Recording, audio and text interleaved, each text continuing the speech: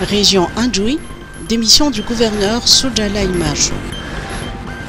Le gouverneur de la région Anjoui, Soudja Laimaj Tsimandilase, a déposé sa démission dans une lettre adressée au ministre de la décentralisation, indiquant qu'il quitte ses fonctions pour des raisons personnelles et familiales.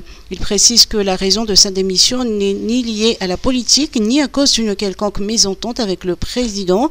Il ajoute qu'il est convaincu qu'en travaillant sur la sphère internationale, il pourra contribuer davantage au développement du pays et que ce sera pour lui une opportunité de renforcer son apport à la nation en exploitant de nouvelles compétences et réseaux internationaux au bénéfice de Madagascar. Souja Laimar était gouverneur de la région Anjoui depuis le 25 septembre 2019.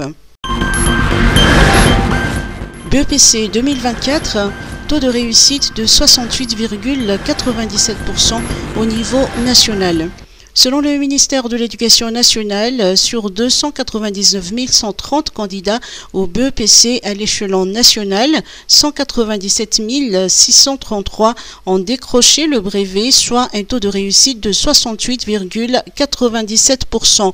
Une hausse significative du taux de réussite à cet examen officiel a été constatée cette année par rapport à 2023 où 181 954 candidats avaient obtenu le brevet sur 305 836 inscrits, soit un taux de 62,42%.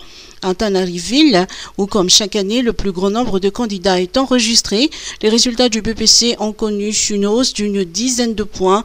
Le taux de réussite est passé de 54,54% en 2023 à 64,39% cette année 2024.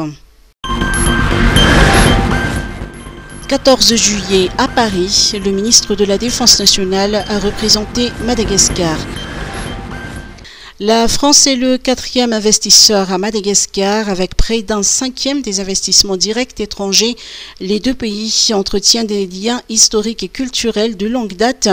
Lors de la célébration de la fête nationale française le 14 juillet sur l'avenue Foch à Paris, le drapeau euh, vert, blanc, rouge de Madagascar a flotté aux côtés de celui de 16 autres pays africains et 14 pays occidentaux. Ce fut également l'occasion pour la France de commémorer le 80e anniversaire anniversaire de la libération. Le ministre de la Défense nationale, le général Lalamunza Delphin Saïville, a représenté le gouvernement malgache à cette célébration. Il a réitéré à cette occasion la volonté de Madagascar de consolider la coopération avec la France dans les domaines d'intérêt commun.